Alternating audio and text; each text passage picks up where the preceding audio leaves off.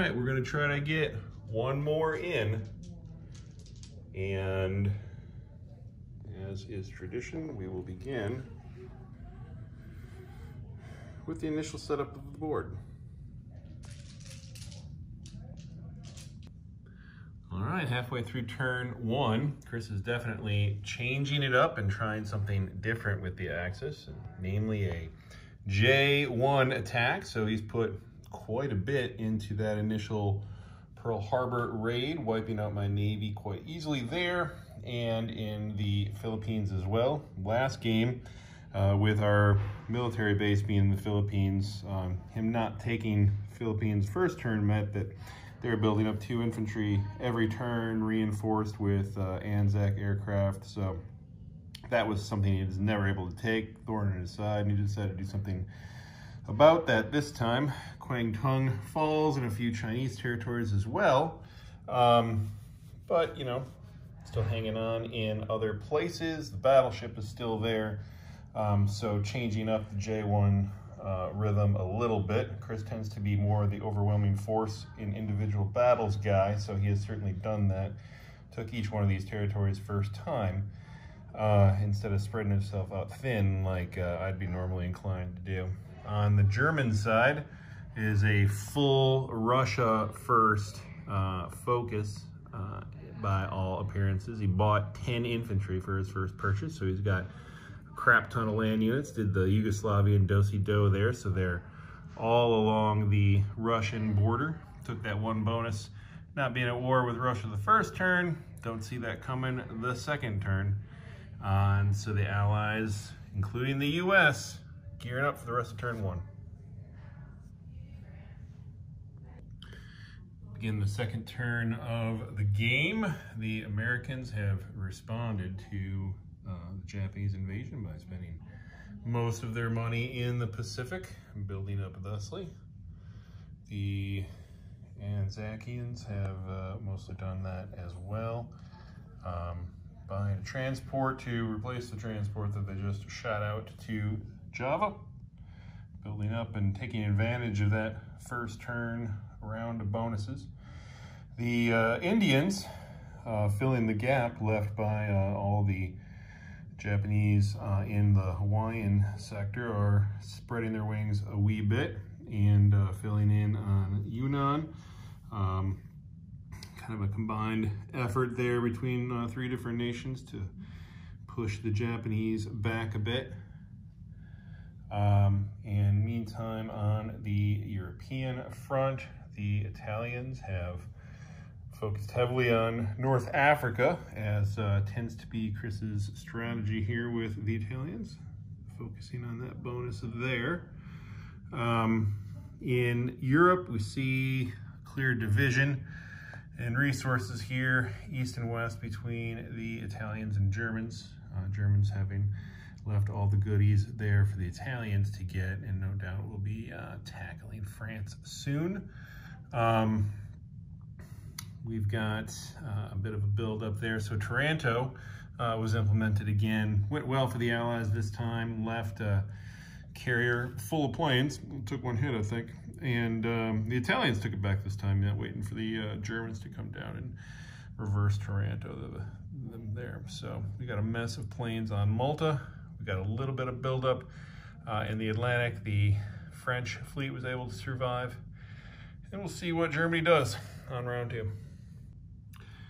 Halfway through turn two, Japan has made its intentions known by bringing the Southern Fleet all the way down yonder. Imagine what that looks like to the Australians right now.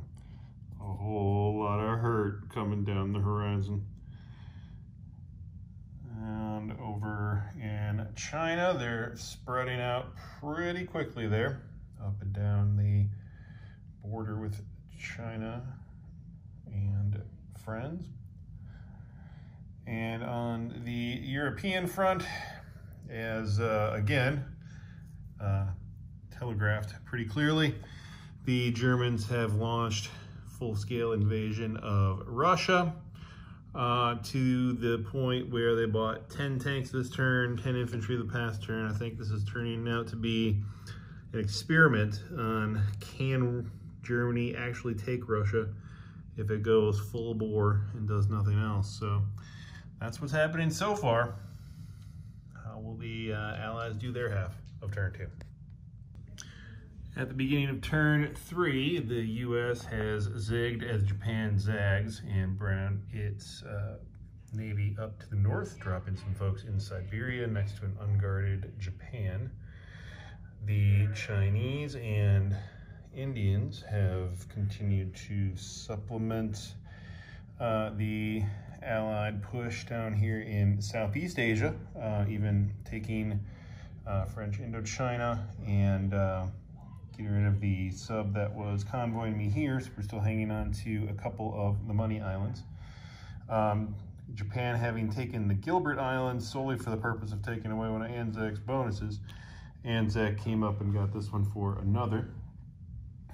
So there is some back and forth in South Pacific.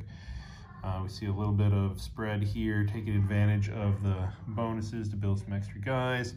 Chinese still uh, in, in, possession of the Burma Road, so building a couple artilleries on top of that. In the rest of the southern hemisphere here, uh, we are taking up uh, more of the Middle East. We took Iraq and built a factory in Persia, as uh, has become the norm. Building up in Egypt as much as possible, while the, uh, the Italians here start spreading out from the Horn and consolidating in Libya to avoid the pressure from the folks in Egypt. U.S. and a combined allied fleet here, having uh, gone to Sea Zone 91, as one might expect. Got the, uh, the French ships still alive, kind of nipping at the med uh, by the end of turn two to try and start taking some of Italy's bonuses as well. You see uh, the U.S splitting its builds, most of it in the Atlantic, but not all. We put some stuff in the Pacific as well to prepare ourselves for what the Axis will do on turn three. The middle of turn three, and it has not disappointed. So Japan has swung around and rearranged itself, taken the prize in Hawaii that it was handed on a silver platter. And so we have uh, couple carrier groups there out in Hawaii. And the other half of the Navy swung over this way and took the Money Islands in a very uh, IPC-rich move. So that is a plus 10 in bonuses for Japan with those two moves together. Uh, Japan continuing to mosey its way into China, one big stack at a time. Uh, it was kind of uh, kind of pushed into buying defensive units here in Japan, which of course was the plan. Um, purchased all infantry this time around. I think 14 infantry. Yep. Uh, two of those being built in Shanghai. How'd you build six in a military base? I didn't. I moved four in from your Jehol. Oh, okay. He came up out of his Jehol and into Chahar. Now he has six uh, infantry there and the rest in Japan. But anyway, that was a all land units purchased this time around. Russia, feeling the pinch over here, uh, has resorted to the uh, the age-old Yakut airstrip tactic, um, while also building up defensive units in Moscow because Germany is just coming like a bandit with uh, some Italians coming up behind as well. So this is how much they already own. Uh, Russia not even pretending to hold on to Novgorod, but did push back a little bit, sent some planes up to whittle those uh, guys in Karelia down and then backed off once the infantry were gone. But otherwise, just a whole spread of blockers here while the Nazis come barreling at them. And uh, behind them, is this uh, ragtag allied fleet that's uh, still been building up for only a couple turns. So how are they going to slow the Axis down this turn? By the beginning of turn four, the action continues. U.S. having uh, pulled back as far as it can to Alaska while uh, continuing to drop some fellows off in Russia that march over. We've built up a little ground force in uh, Western U.S. in uh, what Japanese decide they want to do. Anzac, with uh, a little bit of breathing room, starts to build a navy and together with Calcutta has taken out uh, a couple transports. Yeah, it's price to pay, but uh, on balance, it's a good idea to keep those transports to a minimum. UK uh, Pacific also building a little bit of a navy, a little, uh, little tiny navy that could, building up a little nub there, while uh, continuing to try and hold Southeast Asia, pulling back a little bit as we must. Um, meanwhile, the UK has completed its conquest of the Middle East while splitting its efforts between both North Africa and reinforcing southern Russia. U.S. doing the same and uh, you know inching its way along, but Italy making a power play for Tunisia, so uh, slowing down our roll just a little bit. Now, will the Axis continue this momentum on turn four? Well, this unusual game continues to develop. Here on turn four, the Japanese have thrown everything they could at the American Navy and prevailed, leaving them with a the first victory token of the game. So under the House rules, eliminating all surface warships from uh, the Pacific for the U.S. earns Japan a victory token. They've done that. They earned heavy bombers as a result and now have pretty much complete domination of the Pacific. Now he's his navy's spread out certainly, but it's uh, working to his advantage with all the uh, bonuses that come along with it. He's hauling in 67 IPCs this turn, so that ain't nothing. Um, we have domination of the Money Islands, continuing to creep into China. It's a pretty big stack right there in Shensi, thanks to the factory that's been turning out tanks every turn and military base along with it. So on the Russian front, as you would imagine, Germans pulling forward with everything they've got, a huge stack there in Bryansk.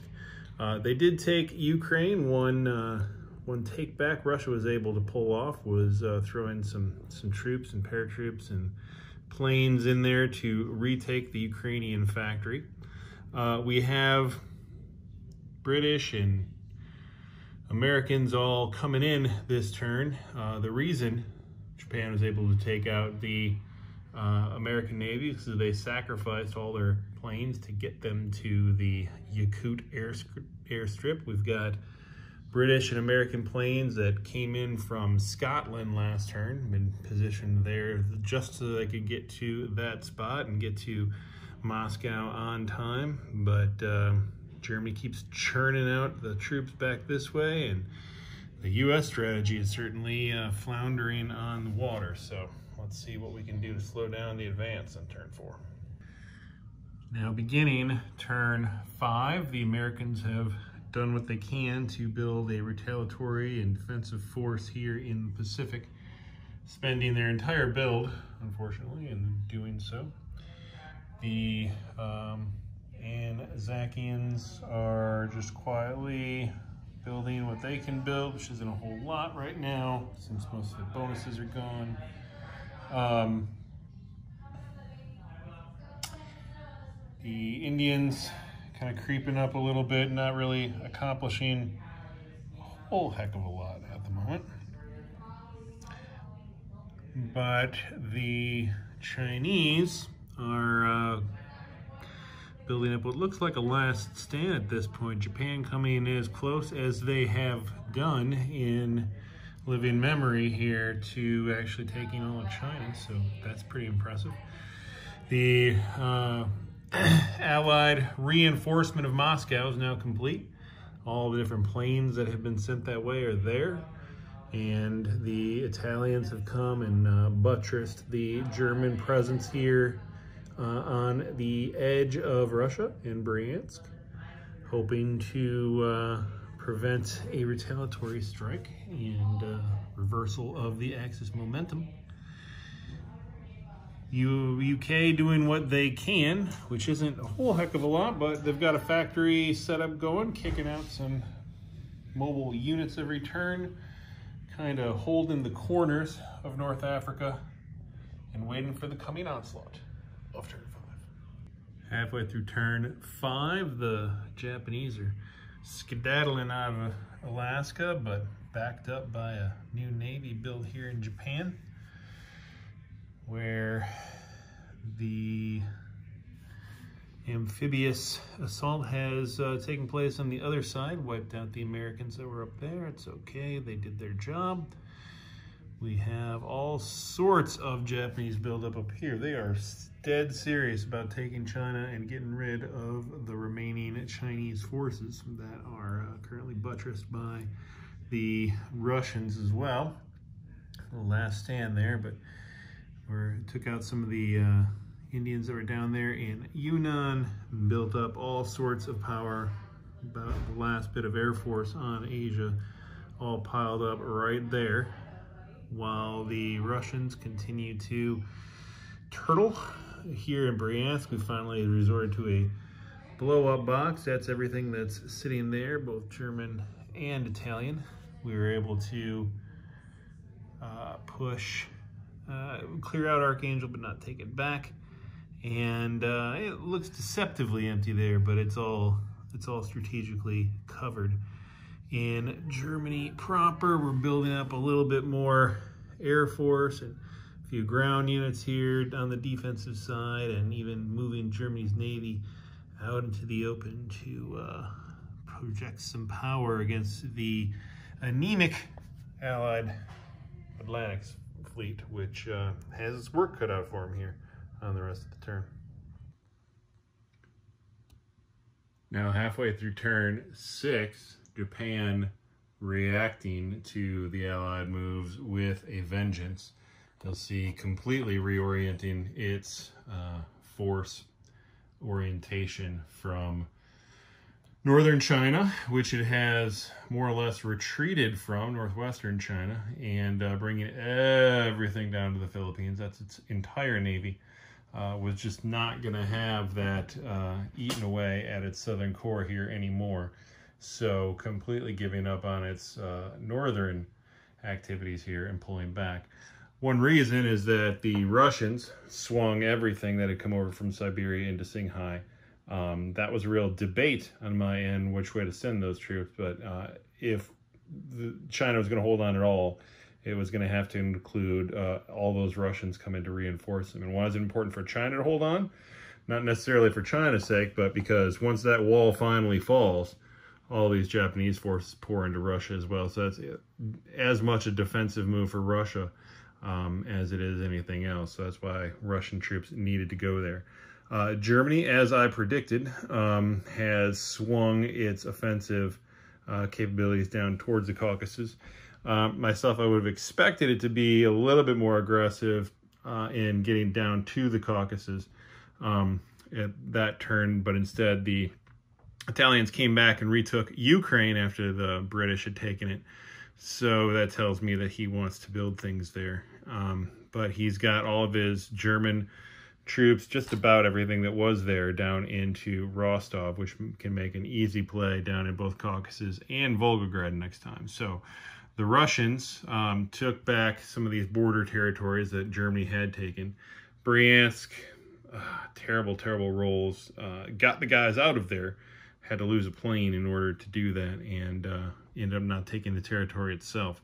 Uh, that's okay, though, because uh, it opened up a pathway for the rest of the Allies to get to Ukraine, which I think is going to be important because I want those Italian can openers out of there.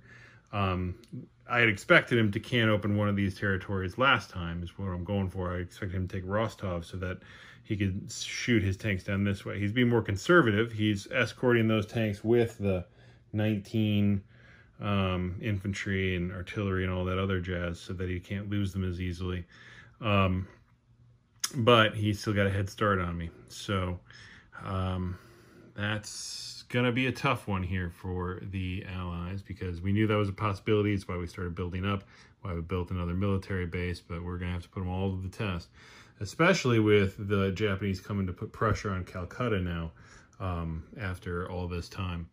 So the U.S. has got a lot to bite off. Uh, the Germans also bought subs enough to make a wolf pack, bought a destroyer this time so that he can actually defend against subs and uh, it's not looking good here. Um, the Allies in keeping this momentum, we're going to have to uh, reshift back on the rest of turn six.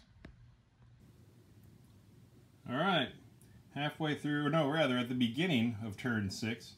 Uh, so this was a good game, and we weren't able to finish it in Dallas, so we've relocated and set it up on two boards again. First thing the U.S. did was take care of that fleet in three and had really good rolls on its surprise shots. So took them all out with uh, no feedback, no no fire back uh, from the Japanese. So that was a good start to this turn for the Allies. And the Allies have done pretty well in in regaining lost territory here on the rest of the turn. So uh, Anzac, um, while currently free from Japanese pressure, that certainly don't necessarily last forever, but with the Japanese tied up up in the north and in China. Uh, both Anzac and Calcutta are doing what they can to add pressure down on the bottom. So uh, each has built up a fleet and has taken two of the money islands. And well, Japan is out of range to take them back this turn, so that's going to be an economic hurt, starting to do some convoying. So that'll be nice. More uh, more Indian forces heading this way, taking uh, Vietnam and Yunnan. So um, not letting the Japanese get away with just focusing on northern China for sure. Uh, UK Europe has started its Middle Eastern factory uh, system, churning out uh, mobile units out of the military industrial complex over here. We've finally cleaned up southern Africa, so we've just got one little Italian infestation there in Libya. Unfortunately, allies are a bit stretched in Europe, so that Italian presence may last a while. And that uh, that stings a bit because the Italians building up a fleet here that's a transport and two uh, destroyers, um, supporting any uh, invasion aspirations they may have, which Chris certainly will have, um, while he continues to push forward on the European front. Now, uh, it's going to be really interesting to see what the Axis do here on turn six. The uh, that stack of 20 something uh, tanks is uh, a, a, big one. And if I were a betting man I would bet he was going to try and do what I attempted and failed to do last time I played Axis which was to take that whole stack of mobile units that's right there next to Russia and now that he realizes he's not going to get anywhere through all that reinforcement of allied planes that have sacrificed themselves in order to get there I think he's going to zig and he's going to go down into the Middle East and try to wipe out that factory production. So we'll see what the Axis do here in the rest of turn six. By the beginning of turn seven, the Axis momentum shows little sign of slowing down. Um, we see that the U.S. has finally taken back Hawaii. Um, opted not to uh, go to Midway as well. Didn't want to put my transport and range of those what are now heavy bombers. We haven't mentioned they got heavy bomber technology from wiping out all the U.S. Navy a few turns ago. Anzac has uh, skedaddled its Navy in both directions uh, and bought some offensive units here to defend Sydney in case that's the direction he goes. I kind of have a feeling he's going to put the pressure on Calcutta, but we'll see. Um, I mean, Sydney We've got these fighters that can get to Queensland or Sydney if they need to. Um, these fighters might be out of luck, actually. Uh, this couple transports here in Hawaii can make it to Queensland if they have to. Um, not to say that we would necessarily hold against a full throttle press against Sydney, but uh, we could at least put up a fight. Over here, we've consolidated the Navy in India and uh, built mech units and started to pull back the land units. Yeah, we took out those guys in Yunnan to slow down the Japanese advance, but um, it's, uh, it's still, I don't have the infantry here that I could have. I'd just been building up this whole time. And he knows that. He's got uh, 12 infantry, artillery tank, all sorts of good stuff here. Planes up the wazoo. He built an airstrip up in Shanghai to bring these five TAC bombers down and got more planes over here. So if he wants to hit Calcutta, as I think he may, um, I could be in trouble. I could be in trouble. Uh, especially since we know now for sure that he's bringing that German move down into the Middle East. Um, those Italian uh, can openers did in fact open the can um, down here in the Caucasus. I brought the British down. They took out the German AA guns, but I rolled poorly. He rolled well. Um, I could have pressed, kept pressing it, uh, chose not to, pulled those planes back, ultimately decided that they'd be better on the defensive down here in the Middle East than the offensive. Uh, hmm, you know, it may or may not have been the right move, uh, but it was the move that was made. So uh, we can expect Germany to park everything it has, including planes, down here in the Caucasus next turn. And uh, that could get ugly. It could get real ugly. Um, I don't like where this is going at all. Um, so we'll see. The U.S. built up most of its builds here. This Navy over here kept uh, what was in play in range of the UK in case that becomes important. Um, but and took Gibraltar just because, but you know, he's building 20 something a turn, building transports here into the Med. Uh, I'm sure Italy is going to go into Egypt soon because he's starting to move these folks over. It's a lot of pressure here in the Middle East, and I don't like it. I do not like it at all. We'll see how they keep the pressure up on turn seven. Halfway through turn seven, and it's getting real in South Asia. Japan has built a minimal uh, defensive force in the homeland, although sufficient by all accounts. And um, as one might have predicted, uh, threw everything it had towards Calcutta, making a big, big incursion into Burma to wipe out uh, a good chunk of Calcutta's land forces, foregoing the Money Islands and so not taking nearly as much um, income as they could have, but uh, certainly uh, making a break for Calcutta at all costs. At the same time, Germany hitting UK from the other end, uh, piling, again, as one might have predicted, everything it has into uh, the Caucasus to put the squeeze there on the UK's presence in the Middle East.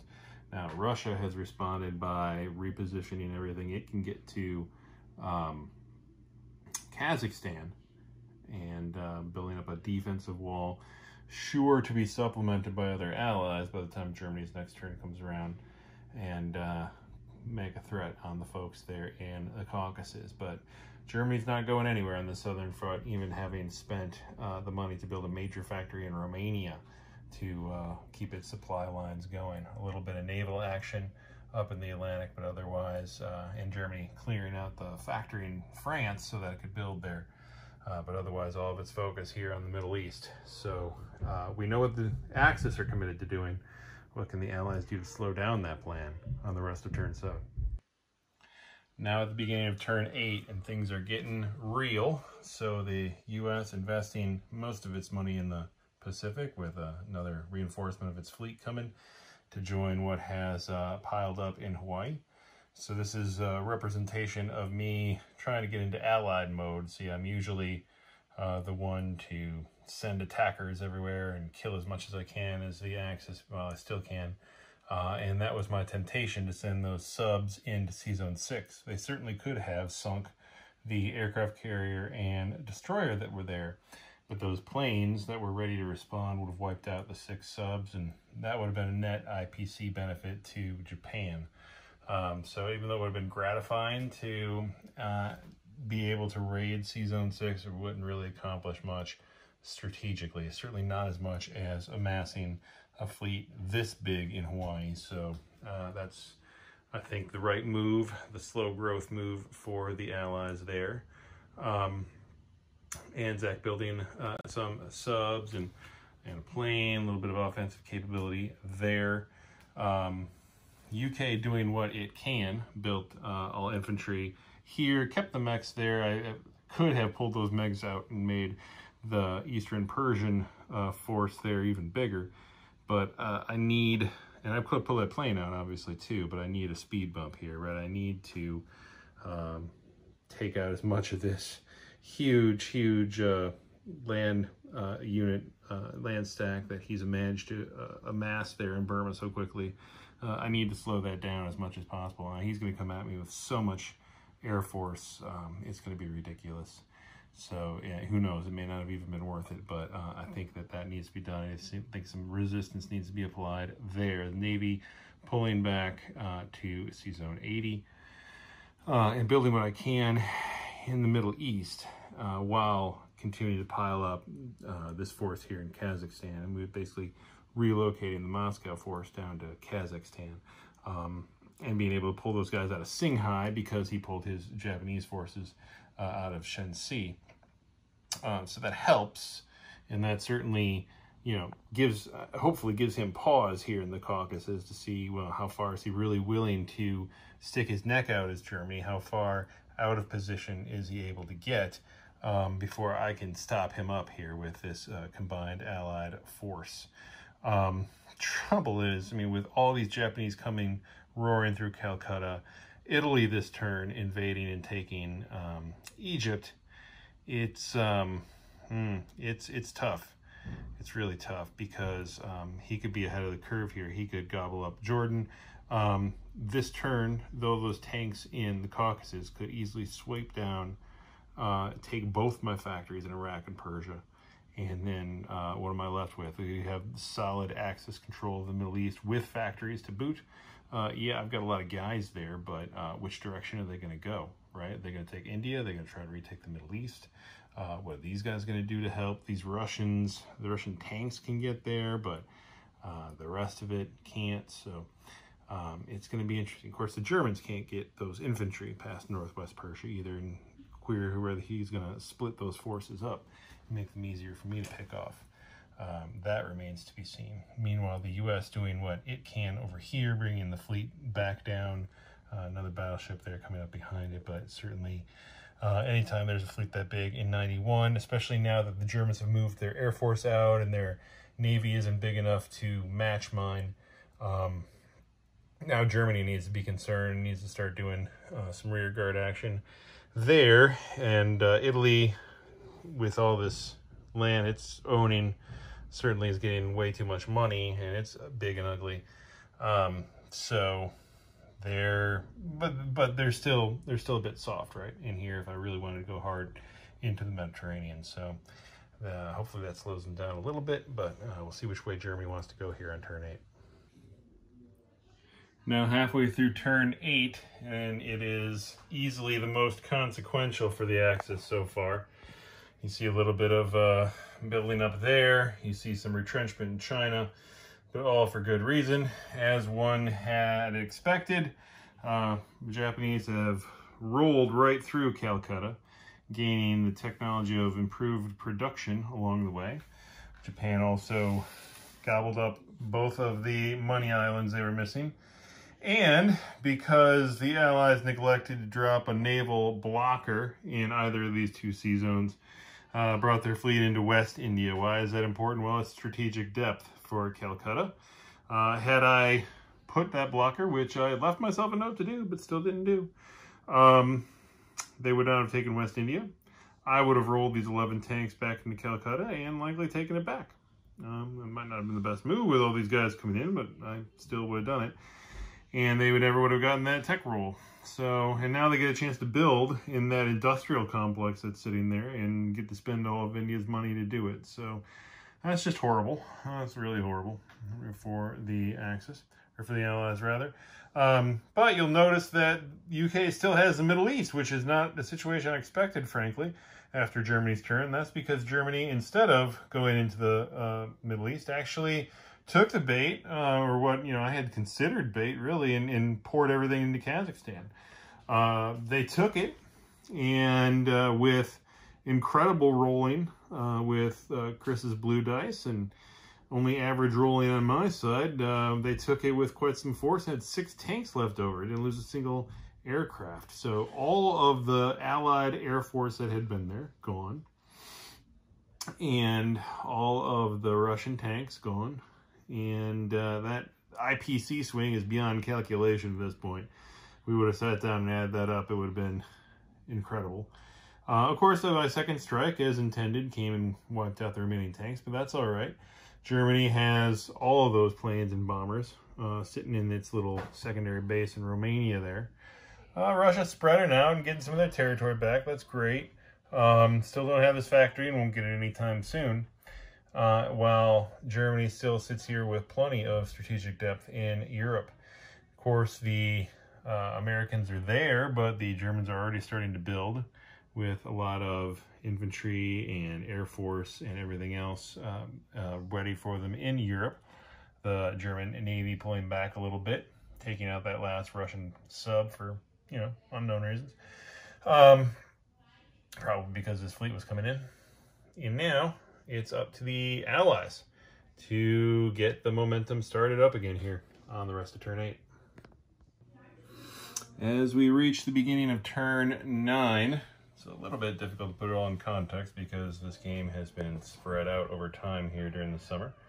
But I'll tell you what just happened in the last half turn. The uh, U.S. is slowly building up its navy here in Hawaii, not getting too adventurous. Uh, did take out this destroyer over here. Um, Anzac, same thing, building up slowly, taking out a transport, taking an opportunistic uh, land grab there in Vietnam. Otherwise, biding its time. Uh, in the Middle East, the UK is reconstructing, building some infantry, pulling back the navies here to the Horn of Africa. Not going too far in either direction, but uh, certainly uh, pinched on both sides. A little extra navy down there. Uh, so the UK and Italy have traded Egypt back and forth. Uh, UK took it back from Italy and Italy came right back again and uh, stormed uh, into Cairo and took that back. So got a little bit of back and forth on that end. Uh, Romania continues to be a hotbed of military industrial production with uh, both Axis powers doubling up in there. Italy, huge build into land units as the Allied Navy uh, makes a move and relocates up to London. That's uh, pretty messy right now, but we've got American infantry in Normandy, Holland, and Denmark, while the rest of the Navy hangs out there in 110. So, um, finally picking a direction to apply some pressure on the Axis, and that's on the northern front.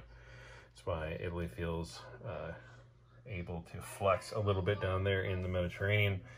And we've got a little bit of reinforcement on each side coming, but what is the Axis going to do in response on turn 9? Now halfway through turn 9, and the Japanese have come out with force. Home Islands here still not heavily defended, although some subs and such built there. Um, some pushback in China, as one might expect, taking back a couple territories. But of course, the real action, as one might have expected, is filling out the Japanese empire here in Southeast Asia. So taking Malaya, pretty strategic territory, as well as Indochina, West India again. The uh, Japanese Navy uh, resisting the invitation to come even further out of position here into uh, the Indian Ocean and pulling back all the way to 38. Um, still a crap ton of aircraft and of course nine additional infantry built down here in uh, India for a total of 16 and a whole lot of other nastiness. So quite a bit coming in. Japanese even reinforcing Egypt with uh, a few planes, a couple planes there that were in reach. Germany, as you see, has uh, helped out by clearing out the Navy there with that bomber. Germany also uh, spreading out with force all over uh, its fronts as well.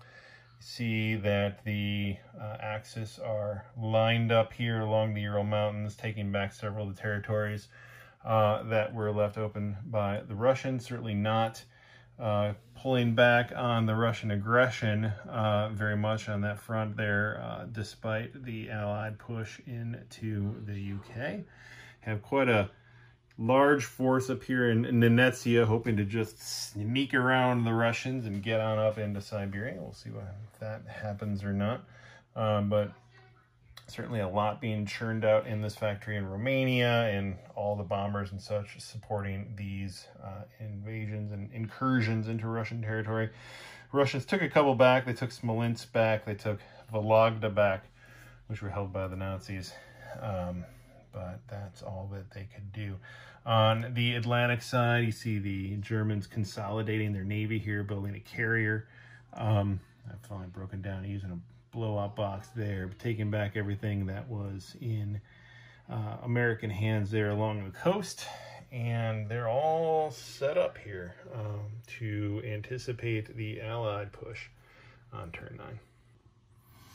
As we reach turn 10, no huge shifts, but the uh, slow Allied tsunami is building up here in the Pacific as we uh, move to take the Carolines and uh, reinforce that with some Anzac pieces as well.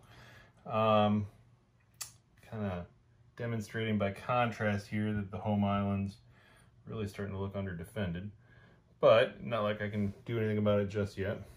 Uh, whereas in Southeast Asia, uh, there's a back and forth here on West India again. Um, have a Royal Air Force in the Middle East for uh, for once. It's been a few turns since the Brits have had any planes, but we're starting to slowly build up there as well. The uh, Ally, the Axis base in Egypt is uh, being evacuated as uh, it appears the Italians won't be able to hold it, so they are inching their way leftward while the Allies are inching rightwards. As you see, the Navy in 110 decided it was untenable to hold that position anymore, so it swung back down to 91, join up with the battleship there. Got some planes left in London, some planes that came to supplement the fleet in 91, and we have a, a bomber, strat bomber there in Morocco as well. Italians defending the homeland quite nicely, uh, as well as advancing with force into Russia, gathering four more IPCs for their coffers and um, adding more and more uh, pressure to Moscow. We see the Americans kind of come up here to the Urals, trying to plug the gap there for the Russians. And otherwise, we have Germany up next, and uh, what will it and Japan do to maintain that Axis momentum? Now halfway through turn 10, and the Axis are uh, advancing that momentum, just like we knew they would. So you see uh, a bigger and bigger Navy encircling the home islands and uh, some action that has taken place, some predictable action in Asia, but still uh, impressive. Um, they chose to, obviously they had to pull back infantry into Anhui, which is what I was hoping to accomplish by sticking that big force there. So, and they threw in some bombers as well. It's a little bit of expansion, frankly, not as much as I would have predicted. And I'm shooting this video alone here so I can throw in some commentary. Um, the big Japanese push, the real commitment here, obviously they cleaned up this. That was inevitable. This Navy's getting back into position. But uh, um, the real push here is India. So he's built another 10 infantry here throwing everything else into West India, just absolutely crushing um, South Asia with a goal of coming in here to the Middle East, which obviously he's well positioned to do at this point. Um, and, and obviously reducing uh, Britain's uh, ability and desire perhaps to go to Egypt. But um, nonetheless, there's, uh, you know, a, a lot going on here. So the UK uh, is obviously building up to hold up against the Japanese here, but um, they also have this opportunity to help uh, finish off North Africa.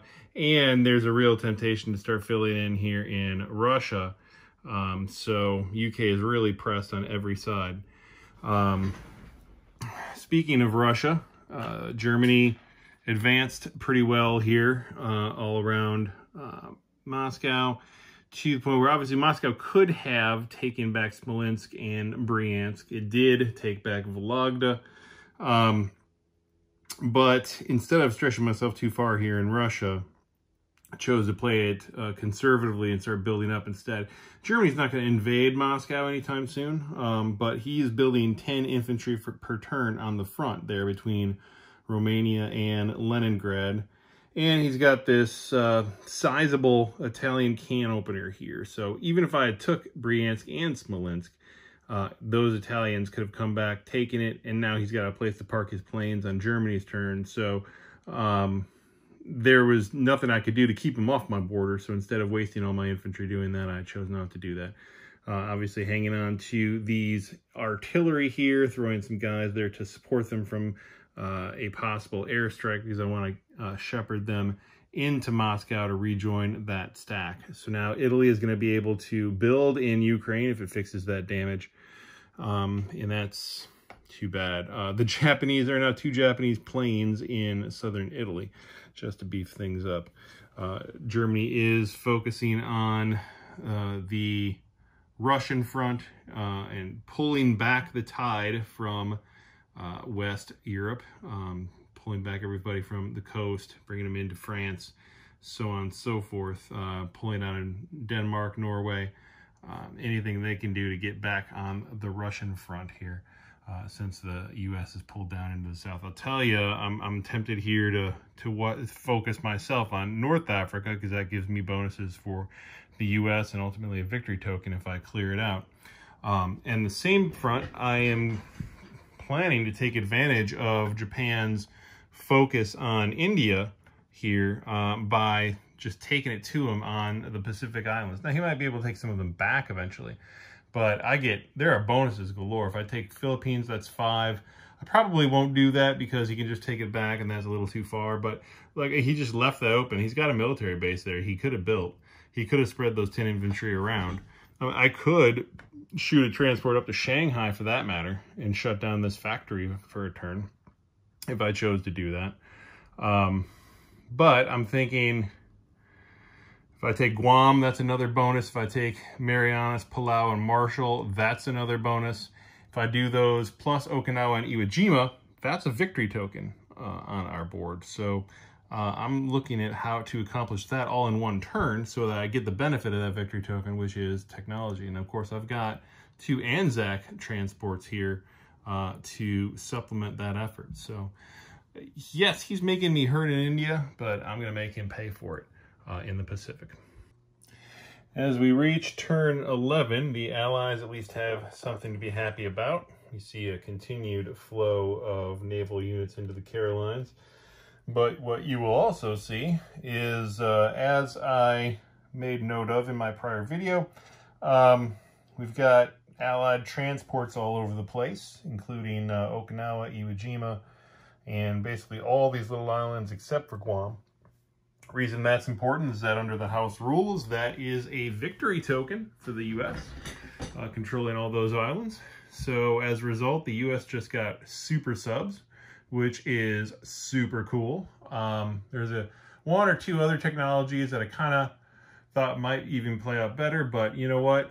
Uh, the U.S. is heavy into the naval battle this turn and this game, and uh, there's subs on both sides of the board. So, uh, hey, I will absolutely take that. That is a great roll uh, for the U.S. You see, uh, it happens to have its subs uh, spread out and uh, convoying where it can, since at the moment Japan only has two destroyers to its name. So most of those subs are going to live. Um, but it's it's a good position to be in uh, in the Pacific. There, I mean, hey, the Axis still has a whole heck of a lot of momentum here, and I am not entirely certain that the Allies are going to win this game. Um, but I am cautiously optimistic that things are moving in the right direction, at least on this board for this turn. Um, China went and cleaned up a little bit there. That's all to report. Built the guy there. Uh, the Brits, as I suggested they would, um, have built up a wall in eastern Persia to counter these guys coming in from India. Now, as I calculate them, we're not using odds calculators in this game. That's one of the features of this game. Um, but as I calculate it by hand in my little scribble book, um, the allies still have a slight edge in this battle in terms of odds. Uh, that could go either way. Uh, it's close. I have a slight edge, but hey, let's say let's say they invade full force and uh, you know, I lose and there's a couple tanks left over or whatever, right? Well, those planes can't stay there. They got to go back to India. And I've got this second strike ability here in Persia, so that's helpful. It would have been more helpful to have the two planes that I had stationed in Iraq. There was a plane and attack bomber there. I built those two planes this turn along with some infantry. Uh, Italy made the surprising move of taking both its strat bombers from southern Italy and uh, attacking, bombing those two planes. Uh, they uh, there's mutual kill on both sides there. I killed his two bombers, and he killed my two planes. Um, I certainly was counting on having those planes around here, um, primarily to take back Egypt, which again traded hands. I took it, and he took it back. Uh, but you know what? On balance, I'll I'll take that trade, right? A plane and attack for his two only two strats. Um, I'll do that. Do that all day. So that's helpful. He's got his he's swung his planes down in addition to those strat bombers to take Egypt. He's, so he's obviously really set on taking Egypt. Obviously, it slows me down from taking North Africa. That's probably his end goal. He knows that if I'm committed to it, I'm going to take North Africa.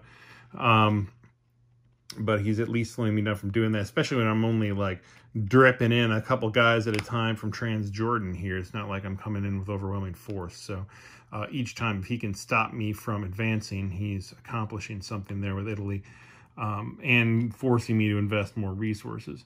But that said, uh, you know, I've just swung this whole Allied fleet into Sea Zone 92, and I'm bringing in uh, American uh, forces. You'll notice uh, I didn't let the Brits take Tunisia because I want the U.S. to take it.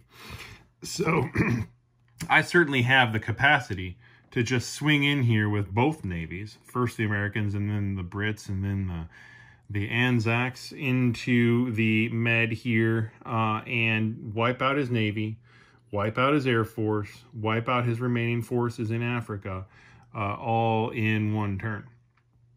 That's a good day. That is a great day for me. Um, so he knows that, and he's built up some some forces here in, in southern Italy to compensate for it. So knowing that, what's he going to do about it? Uh, my guess is on Germany's turn, he's probably going to swing this navy up here, which he has, you know, uh, swung back this way last turn and had originally built to counter my American navy. I think he's going to swing it back to 112. I think he's going to position these planes here to uh, be in a position to invade the UK uh, if you know, he, if he chose to do that, I think he's going to put as much pressure as he reasonably can on the UK to get me to swing my Navy back around. They can go one, two, three back into 110 if they needed to. Um, so that's still an option. That said, he has not been shy about the fact that he is making some bold strategic choices here. So in Germany, he has been uh, building um, the max capacity of these two factories here in Leningrad and Romania each time, five uh, infantry each for a total of 10 being added to that front and pumped in every turn.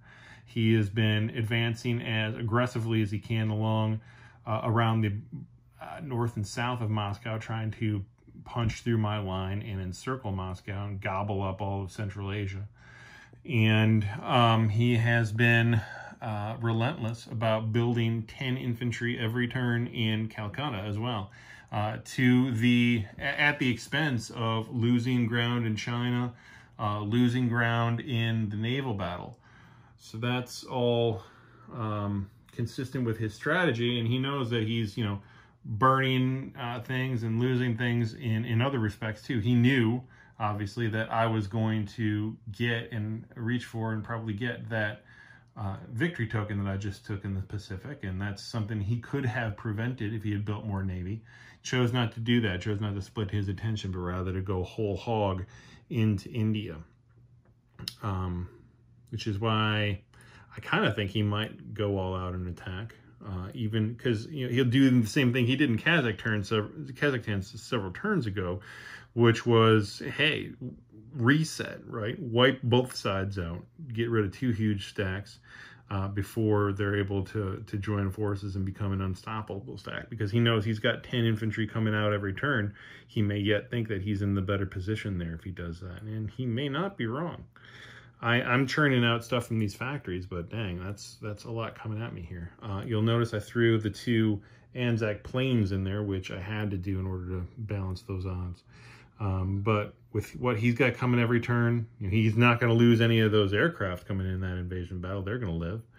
Um, I'm sure he'll preserve them. So uh, he may go for broke there in Eastern Persia, and it'll be interesting to see how that happens.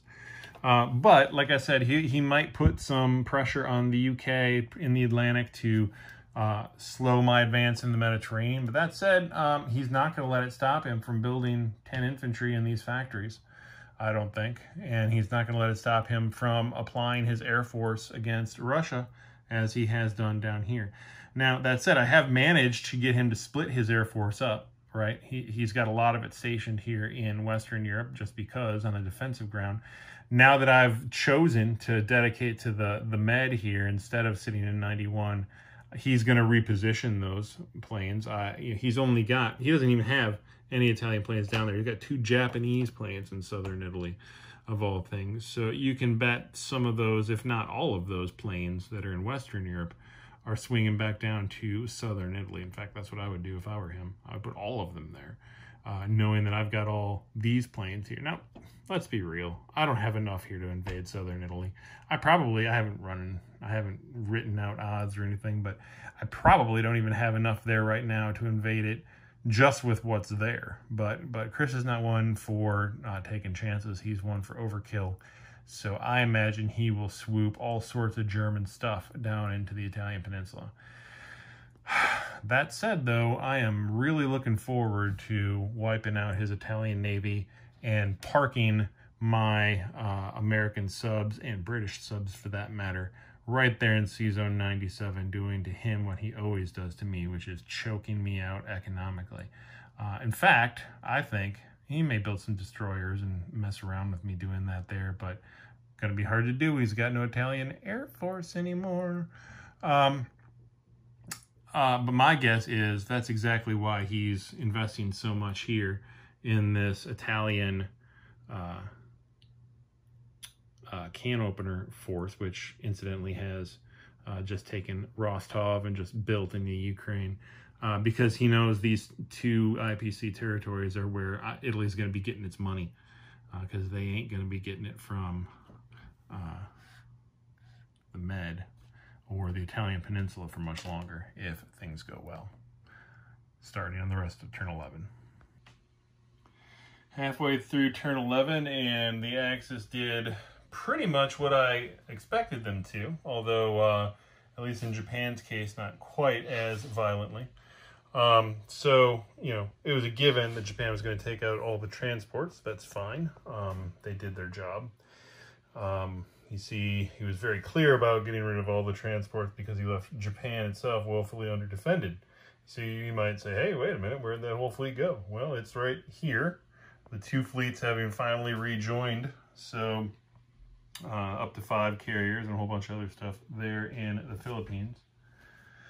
And down in India, he did not go hard into East Persia like I thought he might with another reset move. And Chris confirms that he thought long and hard about it, but instead playing a longer game and building up there. Certainly more than I can take out with my folks. So I'll have to uh, measure out whether I can uh, reinforce there or if it's time to pull back. In China, you know, we get a little bit of a reprieve. We're going to finally take that military base in Chahar because he's not able to defend it anymore. And the uh, sub strategy has worked pretty well, convoying him for nine IPCs this turn, uh, with those three destroyers getting built in 39 to start dealing with that. Uh, on the Russian German front, uh, there's some exchange back and forth. Took out the folks in Vologda without taking it. That's okay. I'm trying to be very conservative now because I'm getting to the point where um, if I'm not careful, I'm going to leave Russia 200 defended. He did, as one may have expected, uh, come in with a strat bomb, get maximum damage of 20 on that IPC, or on that uh, IC, that industrial complex there. So I've built up some radar towers and some defensive uh, precautions there. He has poured everything into Rostov to make sure he uh, doesn't lose his advance there.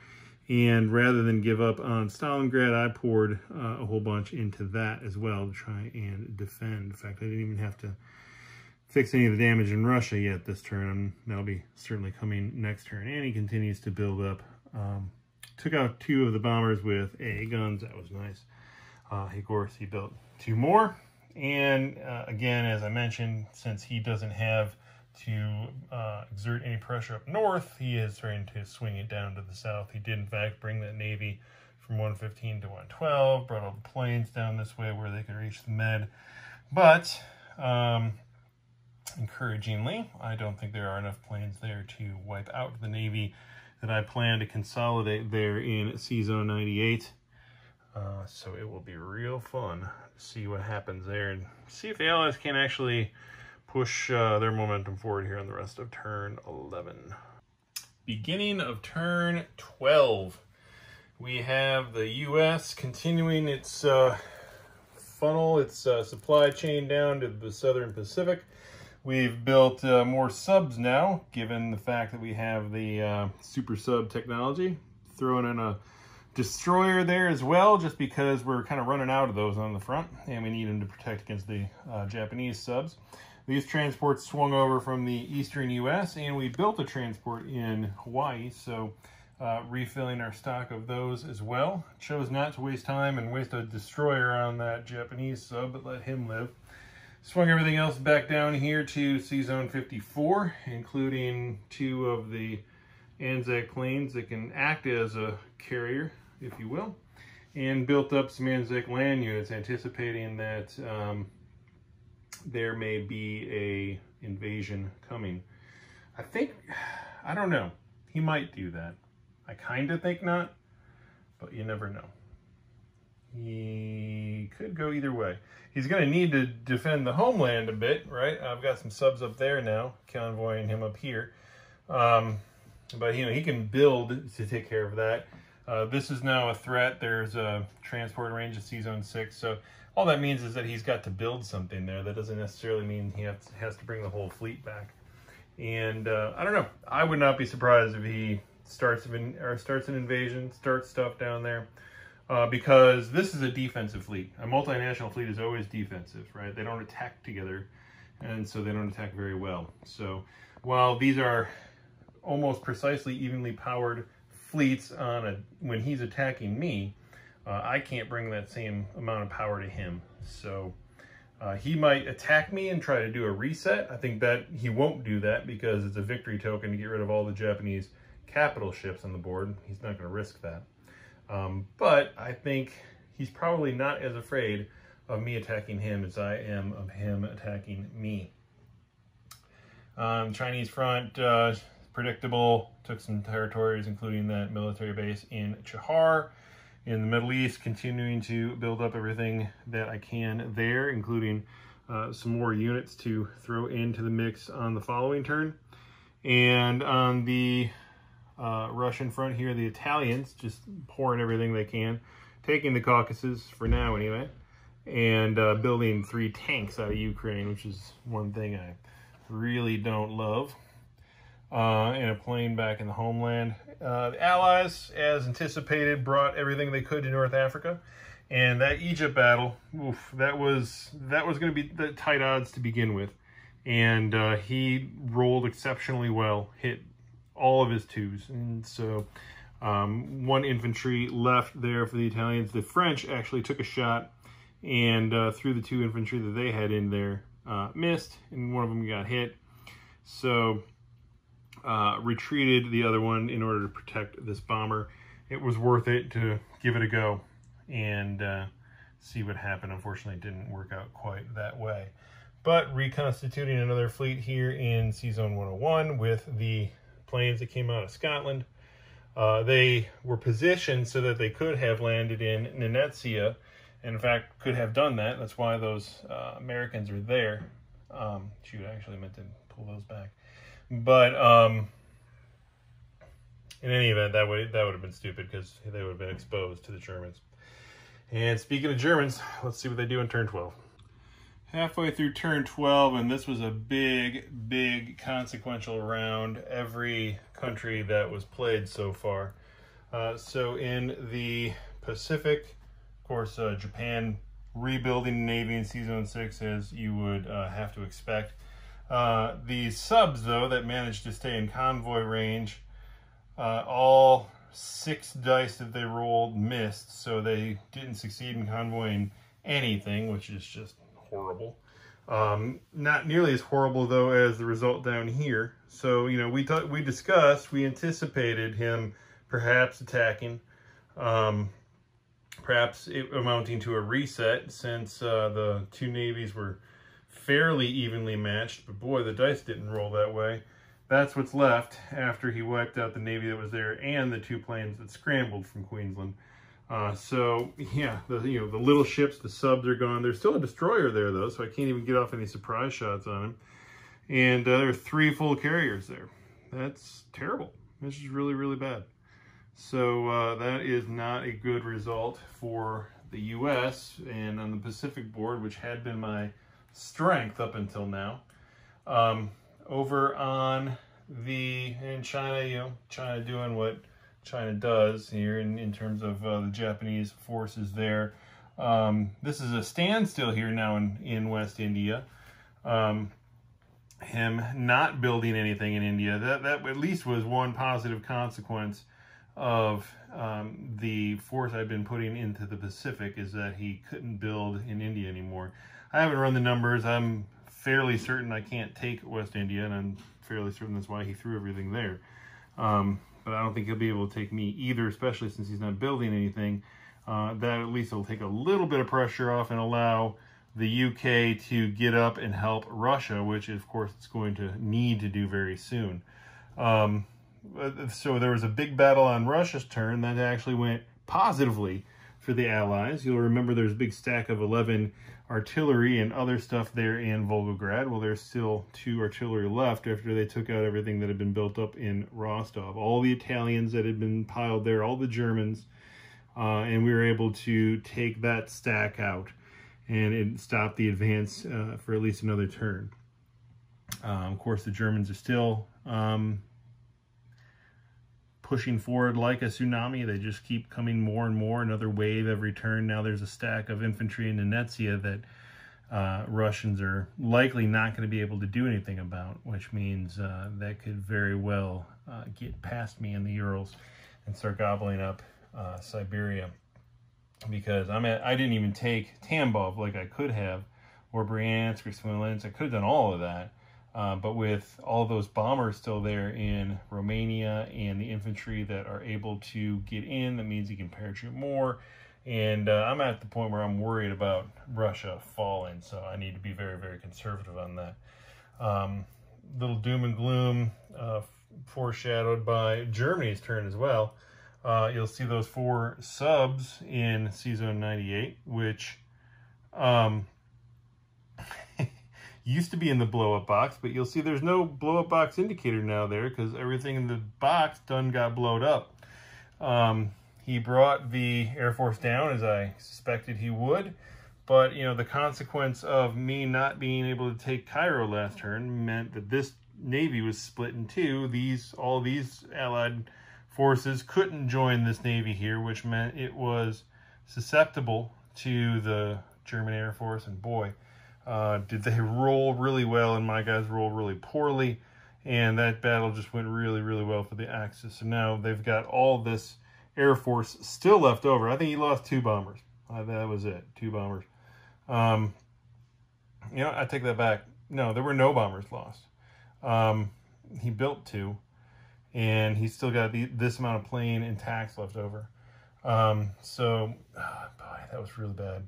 In the meantime, the German Navy coming down here, taking Gibraltar, positioning itself in a position where the U.S. has now got to do something with this Navy over here, um, while at the same time trying to figure out what to do with Japan. So that was a really, really strong turn for the Axis and could very well have been a game breaker uh, for the Allies. We'll see what they can cobble back together for momentum on the rest of turn 12.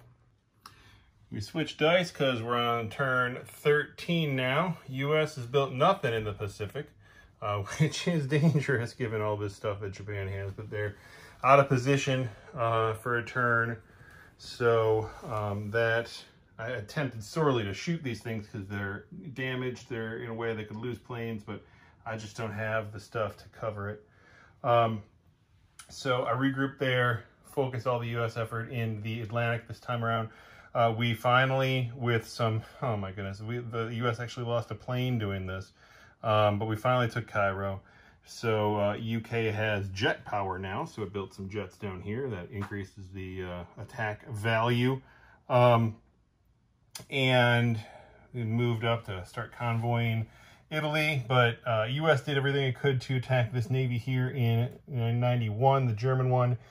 Um, but got, I mean, got about as much damage on it as I re reasonably could have expected, I guess. I didn't roll badly, but I didn't roll great.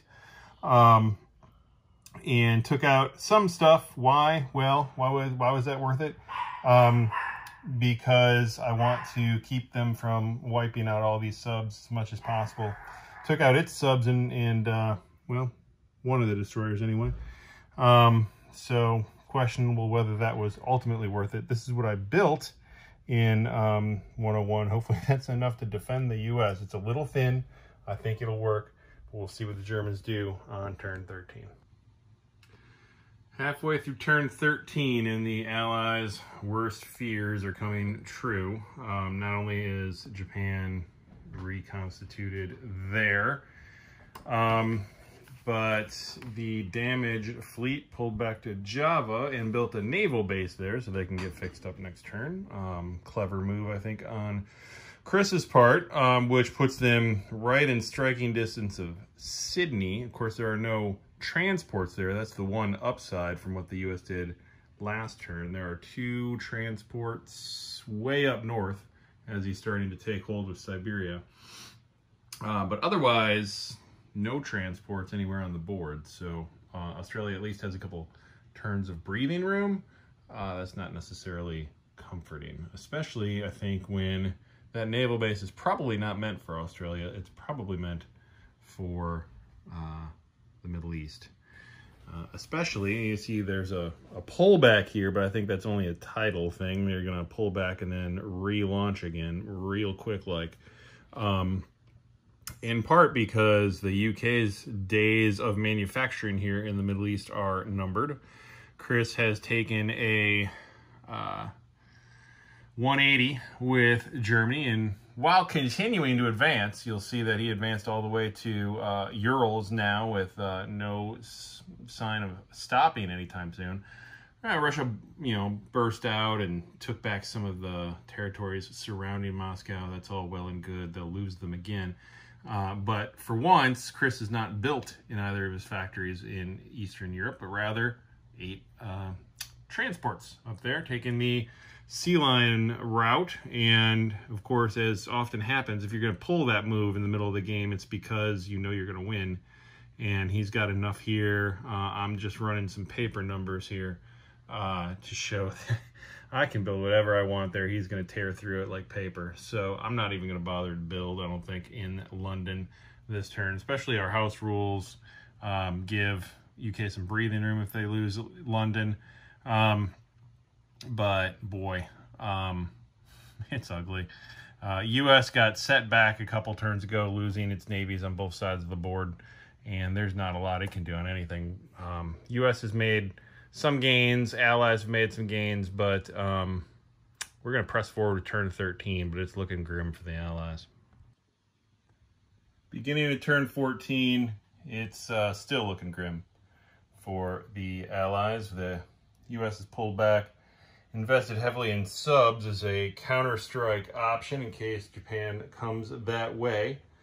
And uh, you'll see it's done the same on the eastern front as well because there's not much more it can do. Um, UK has built all in the Middle East, uh, knowing that it's pointless to build in London because it's going to get overwhelmed so badly. Uh, moved up into uh, the med here, uh, took some bonuses, uh, got a little bit of convoy, lost all the subs in 97 uh, to the to the Italians there. That was pathetic.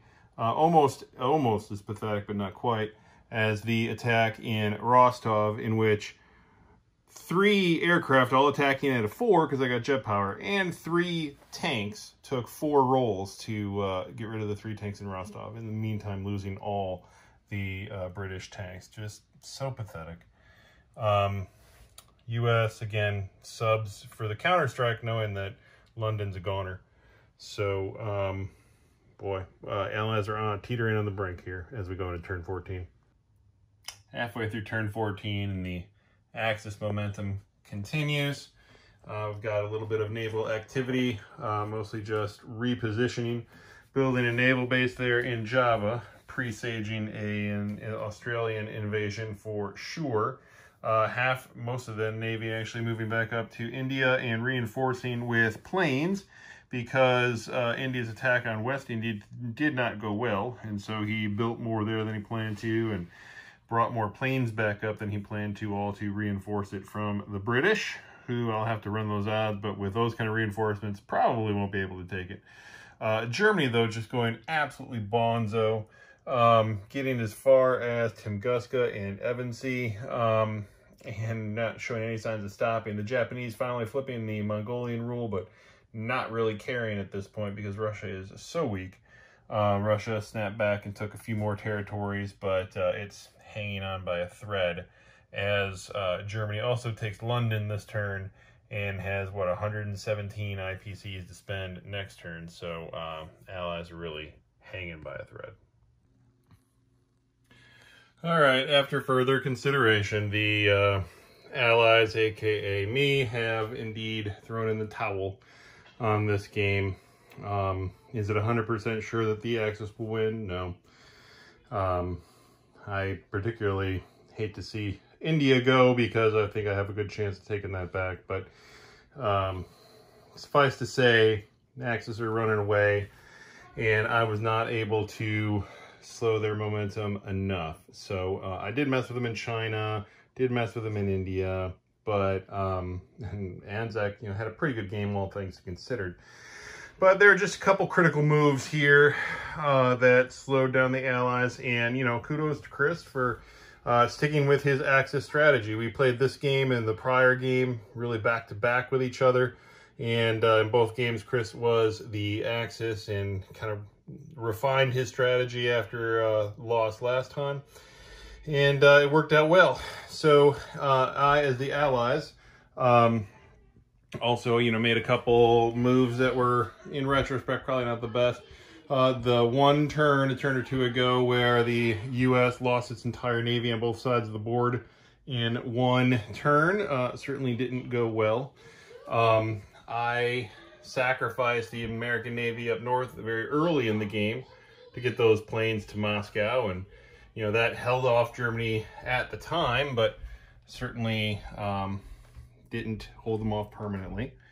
Um, losing all those planes in Kazakhstan was a huge blow to the Allies. And, you know, they, they were there for a reason. They were there to stop the Japanese advance uh, in Tsinghai and then uh, the German advance from the other side as well. But, um, you know, it was a reset. It certainly took out the German army down there, but took out way too much for uh, the Allies and ultimately uh, benefited the Axis more.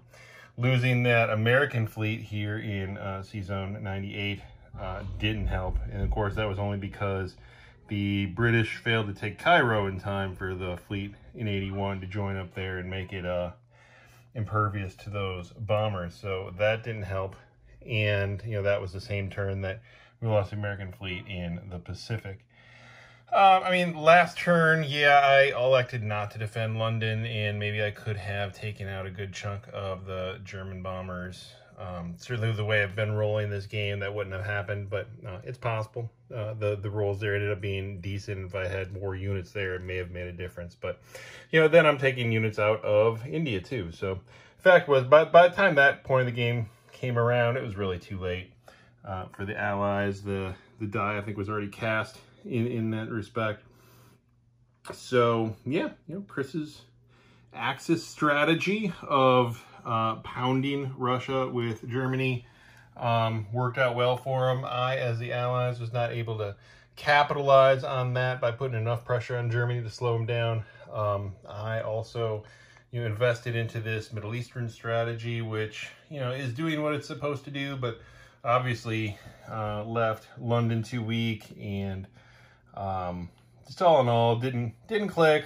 Some of the rules didn't go my way. Some of the strategic choices probably weren't ideal. And uh, Chris was just able to get that economic engine going uh, faster than I was able to slow it down. Uh, Chris really also likes this major factory in Romania, giving him a lot of options pumping into southern uh, Russia. Really reminiscent of the uh, sired blood, what does he call it? The sucker punch strategy, something to that effect, of, um, of really going into southern Russia where the high IPC value territories all are. That's ultimately what Chris did, and ultimately, just as I try to do with the uh, Axis, these Italian territories uh, boosted Italy's economy um, and made up for losses in Africa. Uh, losses which I was not able to capitalize on quickly enough, probably. But in any event, that's where the game stands as we call it here on turn 14 and hope you enjoyed the show. Let us know what you think of the strategy and the strategic choices in this game. And we'll be back at you next time. Signing out.